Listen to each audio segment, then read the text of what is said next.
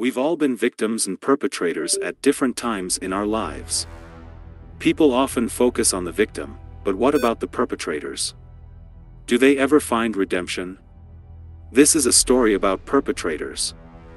The opening scene introduces Margaret, who is arranging her husband's 50th birthday celebration with a woman named Priscilla, while their son, Philip, sketches a family portrait. When Philip includes someone named Gus in his drawing, Margaret suddenly departs. It seems Margaret is grappling with post-traumatic stress disorder, seeking to erase memories of Gus. In the subsequent scene, we learn that Margaret has a clandestine apartment in Hong Kong, possibly as a means to evade the relentless memories haunting her at home. Margaret invites a neighbor, Hilary, to her husband Clarke's birthday party, but Hilary initially declines due to issues with Margaret's family. Later, she reluctantly attends with her husband, David, whose marriage to Hilary is deteriorating, as evident from their argument in a taxi. Mercy, a waitress, is having a sexual relationship with David. All three women attend Clarke's party, but Margaret becomes aggressive upon seeing Mercy working as a waitress. Despite this, Hilary comforts Margaret.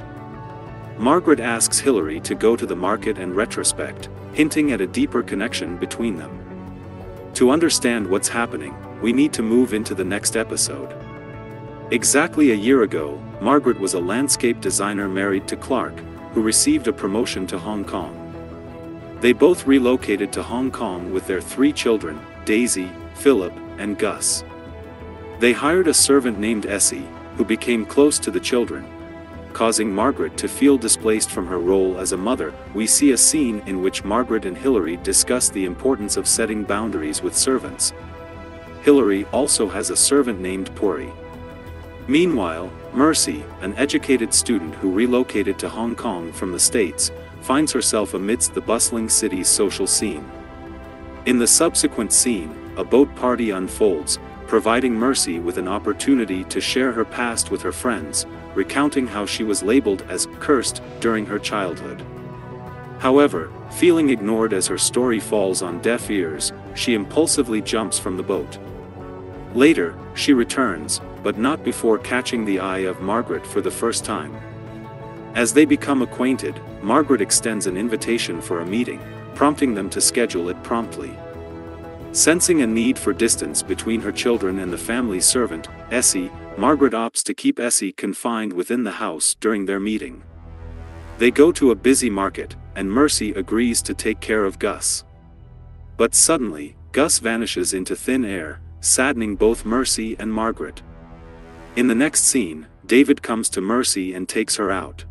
Clarke and Margaret see this, possibly causing their friendship to strain, as seen in the elevator. Subsequently, David starts a sexual relationship with Mercy. Back to present Margaret is taken out of the market by Hilary. Days pass without any sign of Gus. Margaret's long baths inside her secret apartment indicate the extent to which she yearns to erase her memories. In another scene, Hilary reveals she never wanted a baby, but as David suddenly wants kids, she starts taking pills without informing him.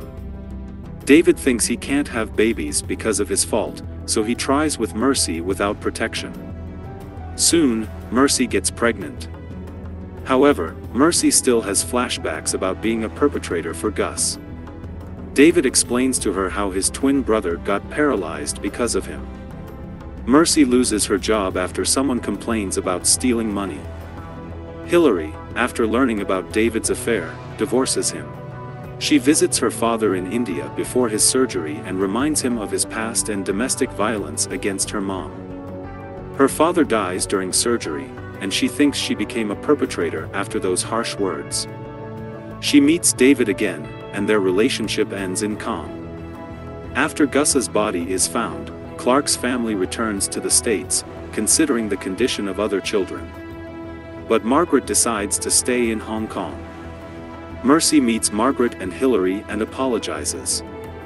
They forgive her, and Hilary honestly admits that she filed a fake case against Mercy which caused Mercy to lose her job. Mercy decides to stay with her mother during her pregnancy. In the end, forgiveness prevailed as Mercy, Margaret, and Hilary came together to heal old wounds and embrace the future with newfound hope. Though their paths diverged, each woman embarked on a journey of self-discovery, determined to find happiness on their own terms.